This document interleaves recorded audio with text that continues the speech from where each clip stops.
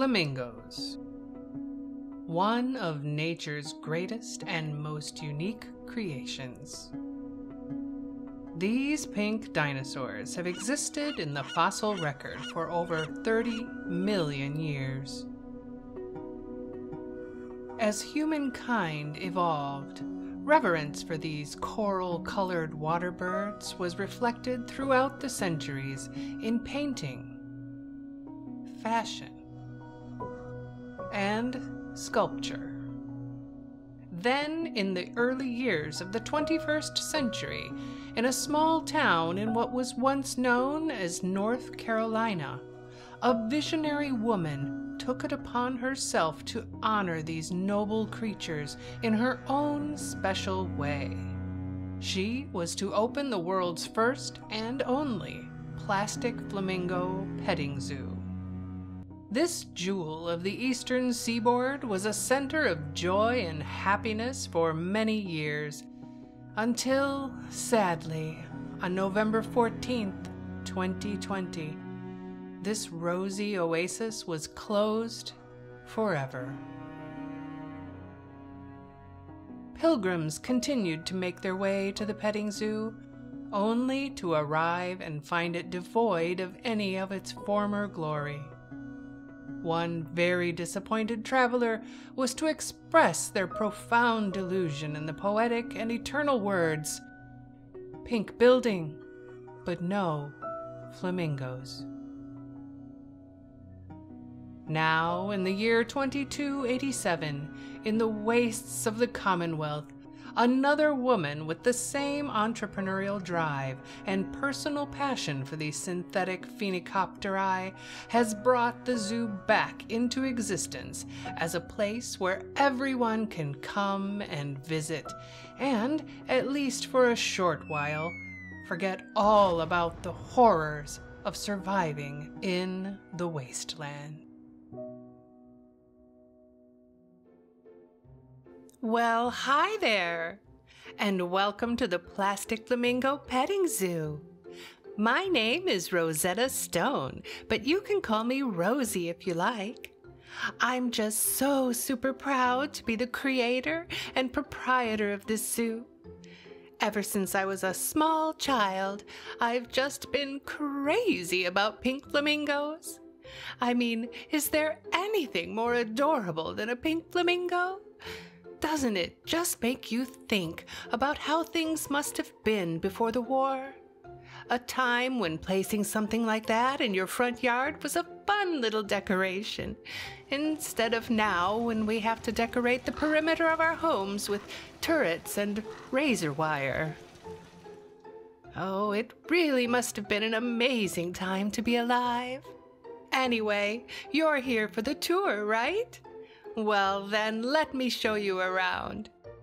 I'm sure by the end, you're going to love these little guys just about as much as I do.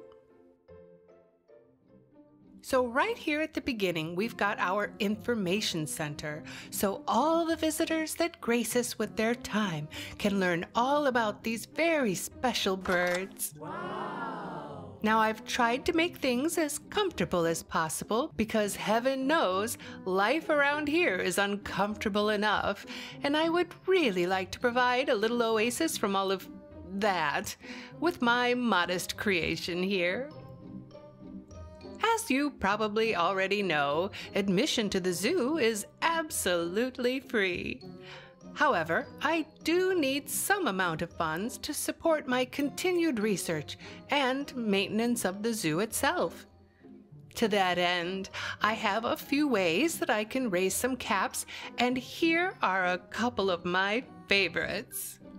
First, there's the Lady Flamingo Silk Organza dress. And right next to that is a set of the zoo's official power armor. I hand make each piece, and I can guarantee the quality of the clothing and the durability of the armor. Yeah! Well then, next I'm going to show you the heart of the Learning Center here, where I have a large assortment of holotapes that I've made over the years. Each one a thesis on some aspect of flamingo history, biology, nutritional requirements, migration patterns, and so much more. It's literally taken years of work, but thankfully, the library in downtown Boston still has a lot of research materials available. If you're looking for information on how to create an explosive, well, you're not going to find any of that. That kind of stuff got stolen a long time ago. But it's funny. Nobody ever took any of the books about flamingos. Can you imagine? How lucky am I? I was also very lucky to have gotten my hands on these Radiation King monitors. They still function like they're brand new. Here, let me show you how they work.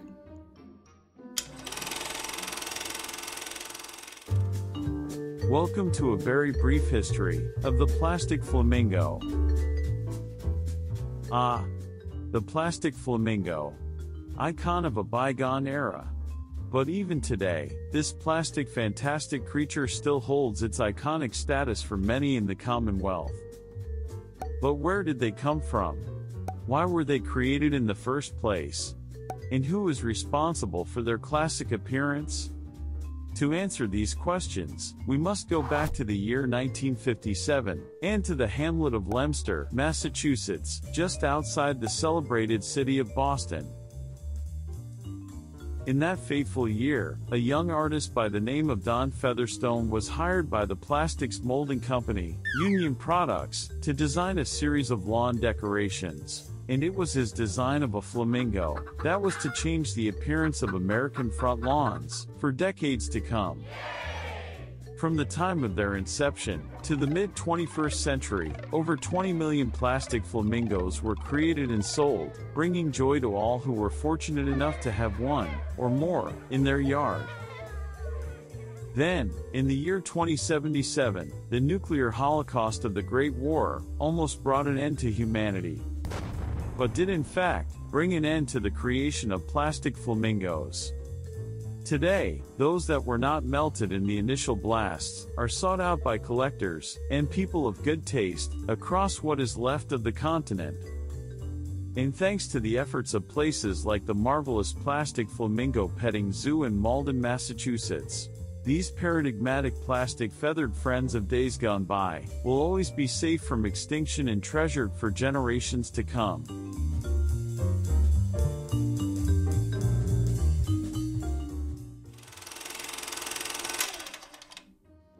Wow! I must have seen that a million times and it just never gets old.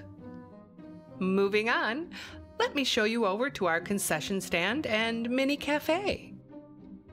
All proceeds from the sales of snack items go to help support the zoo. But if you're hungry and don't have any caps, don't worry. Just let me know and I'll fix you up something nice to eat. I mean, my daddy left me more fancy lad snack cakes than I'll ever know what to do with. You're one of those little, uh, fancy lads, aren't you? So if somebody needs one, I'm more than happy to share. I've gotta say, you picked the perfect day for a visit. The zoo is very popular with families, especially those with small children. But right now it's so it's so nice and quiet. Now before we go see the birds, let me just show you upstairs real quick. And in case you need it, I've got a very nice restroom facility, but also up here is where I manage the headquarters of SOFA. SOFA stands for the Society of Flamingo Aficionados, a nonprofit organization I started back when I was a teenager. It started off small, of course, but since opening the petting zoo, membership has exploded. Like, I think there must be 12 or 13 people now that have joined. And let me tell you, when we have our annual meeting, it gets all kinds of crazy in here. Oh, yes, before I forget, I wanted to show you the facilities, and they're right back here. And yeah, we have the old men's and women's signs up here, but that's just for nostalgia's sake. This is an everybody bathroom. It doesn't matter what kind of human you are. Really, it doesn't even matter if you are human. When nature calls, you can't really put her on hold. You know what I mean? So out here, I've made a little washing up area, and in here we have the loo, or the toilet, or the water, whatever you'd like to call it. I also make my own toilet paper from recycled books that have been burned beyond usefulness. But I also have several newspapers that can be used by those that are more accustomed to that type of uh, paper for tidying up the downstairs. Mm-hmm. I'm still trying to get a bidet put in, but our regular plumber was eaten by a pack of mutant hounds, so that's been delayed. Well, I think that's about it for here in the building. I think I've shown you just about everything, so after the tour, you can just make yourself at home here. Okay, let me just close this all back up and we can get on to the main attraction. so exciting! I can't wait to show you. Really, I have always been such a flamingo head. My poor parents must have thought I was off my rocker when I was little. They would send me out to forage for food or clothing, and nine times out of ten, I'd come back with an arm full of plastic flamingos. but with time, however, I learned to come back with flamingos and food. And my parents learned to accept my obsession and really began to support my ambitions. They even went so far as to find this place and clear it out for me so I could achieve my dream of building my petting zoo. I don't think they ever fully understood my dream, but they were great parents and so supportive of me no matter what. Ugh, such a shame about that sinkhole. It just sucked them away one day. Hmm.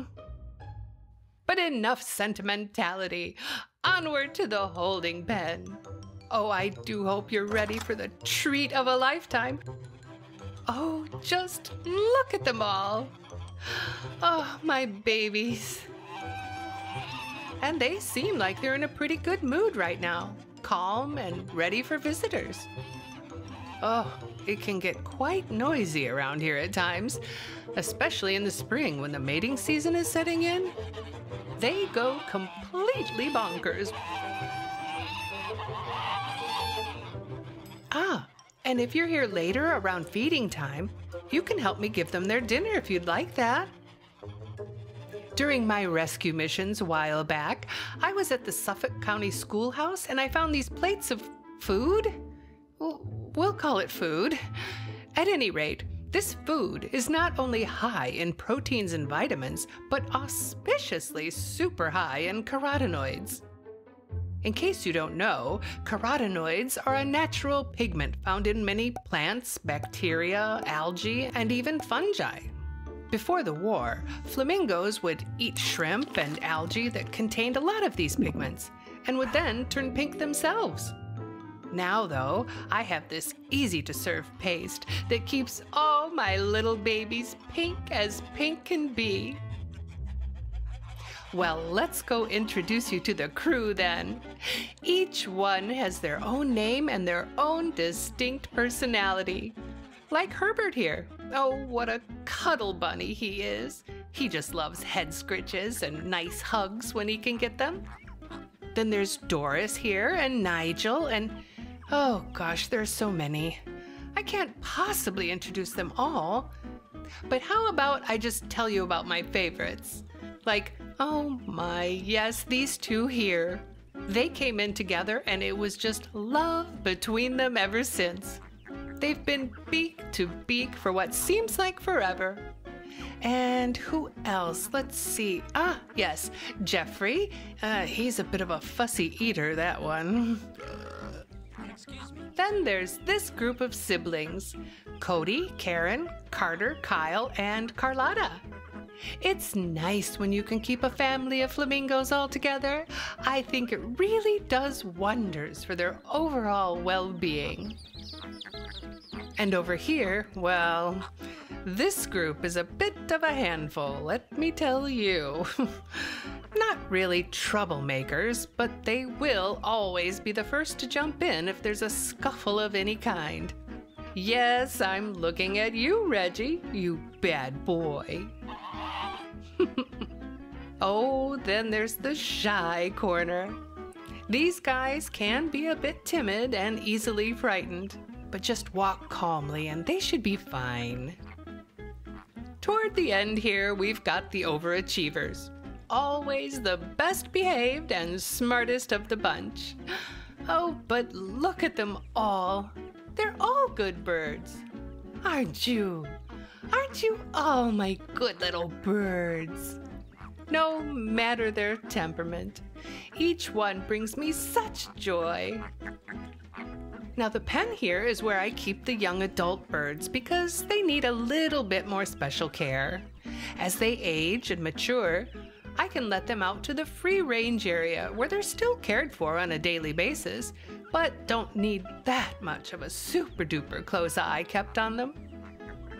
I just put out some food and they don't need much coaxing to stay close by. In fact, it's almost like they never move. yes, I've yet to have even one of my beloved birds fly away. So I would think they must be happy here. Oh, I do hope so. Well, I suppose that just about wraps up the tour. Oh, and don't forget, you can purchase either the dress or the power armor at any time. It doesn't have to be today. So I'll just walk you back to the pickup point. And, uh, oh, yes, that. That's the nursery. Where they. Uh, oh, oops. there goes another volunteer. Those baby flamingos can be brutal. But anyway, I hope you've had a wonderful time here today. And if you'd ever like to volunteer, I, I think we have an opening. Well, then, my dear, you take care, and I hope to see you again real soon. Flamingos forever. Goodbye.